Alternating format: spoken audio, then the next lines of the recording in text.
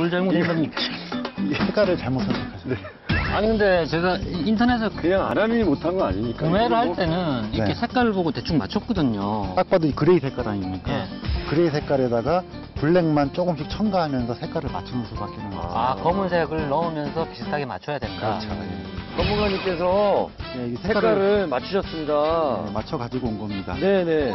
여기 오염물질이 많이 묻어 있고 네네. 또 기존에 코팅막이 있기 때문에 네. 여기다 바르면은 페인트가 잘 달라붙지를 못해서 네네. 약품을 한번 깨끗하게 클리닝을 해주고 네. 그 위에다가 이제 페인트를 바르는데 네. 바르는 요령은 무조건 얇게만 바르시면 돼요. 먼저 전용 약품이나 클리너로 표면에 오염물질을 닦는 것이 포인트. 자, 채워보겠습니다. 아, 내가 다 떨린다. 내가 다 떨려. 오 비슷해. 완전 비슷해. 그래. 그래.